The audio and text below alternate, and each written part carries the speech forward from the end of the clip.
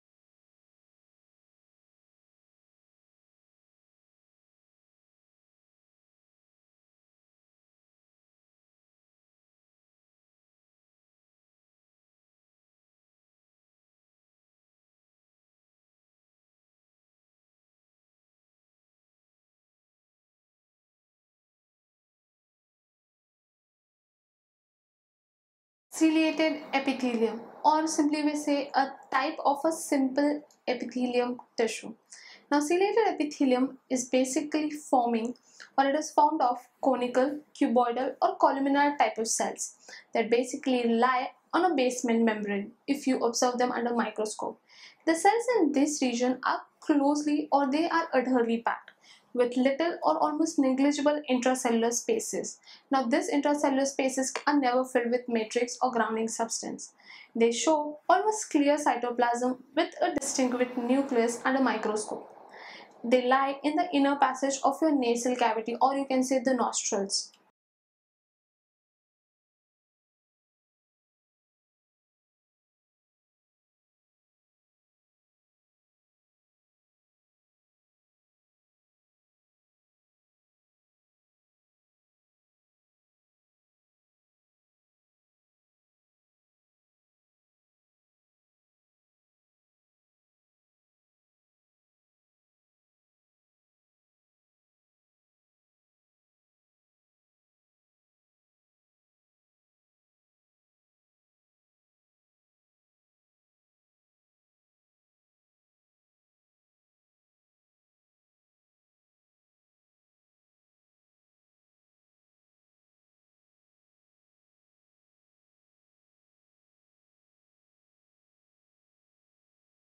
Now, the functions of this ciliated epithelium could be that it helps in sweeping food or you simply say passing down food from your buccal cavity or oral cavity or your mouth into the gullet. And now when I talk about gullet, it means your food pipe or your esophagus which is just adjacent to your windpipe.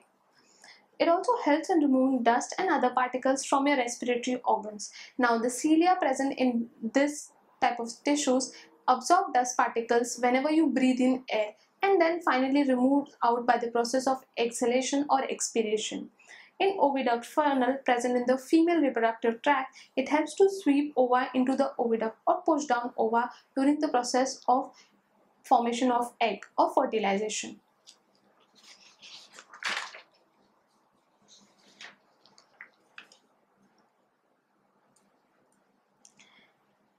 Now this is the structure of ciliated epithelium and it does consist of cilia or small brush-like borders. Along with that, it also consists of nucleus and a cytoplasmic material which is clearly distinct in microscope.